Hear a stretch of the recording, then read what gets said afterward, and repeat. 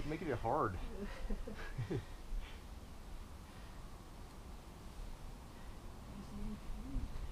that giant thing.